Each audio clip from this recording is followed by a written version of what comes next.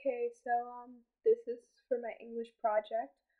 I'm making a video blog book review of Sabriel by Garth Nix for Miss Frank's English class. Um, it's a really, really good book. My aunt actually got the book for me.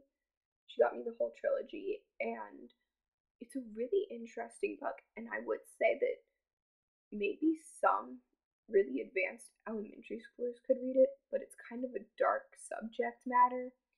Um, it's about this girl who, well, it starts out in the prologue, and this guy named Abhorsen comes to this random village, and he's pale, chalky white, and he goes, he's a necromancer, and he goes into the world of the dead and brings this child back to life and says that it's his child and that her name is Sabriel.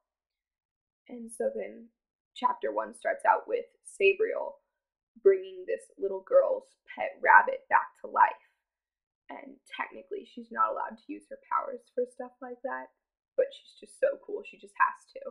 So, and as you can see on the cover, that's Sabriel. And um, the bells are really cool, really significant in the book, but I'm not going to tell you what they are because you have to read the book to find out.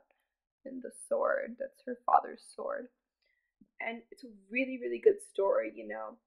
Subject matters a little dark with like people being raised from the dead and stuff, you know. Um, it's good. There's some great scenes. There's a cat. People who like cats um, yeah, pretty much. I suggest it to anyone who likes, you know, like fantasy or